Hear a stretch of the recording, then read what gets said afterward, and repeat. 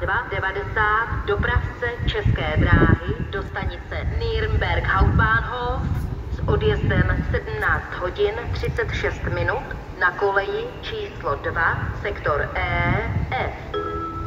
Přestupujte do osobního vlaku číslo 7009 dopravce České dráhy do stanice Karlovy Vary a Chomutov s odjezdem 17 hodin 34 minut na koleji číslo 5.